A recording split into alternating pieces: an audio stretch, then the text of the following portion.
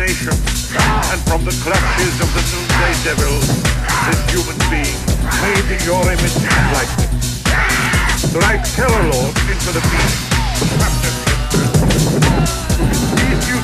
In your image and to redeem.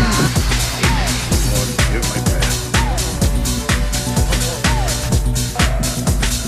Amen. Almighty Lord, Word of God God and Lord of all creation. Gain for your holy apostles the power to trample underfoot serpents and scorpions. Grant me your hand and power to confront this cruel demon.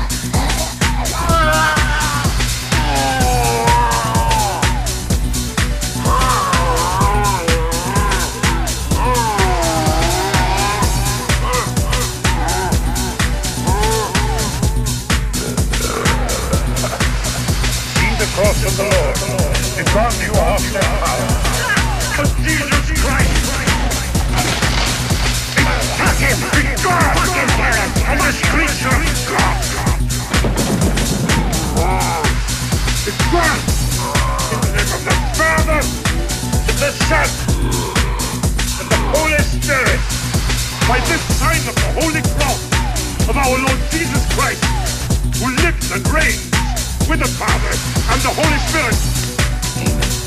Ah, defender of the human race.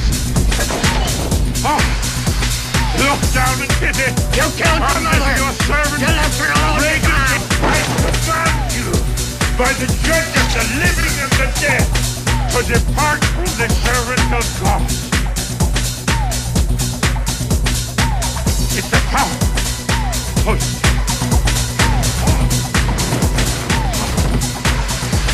It's the power of Christ.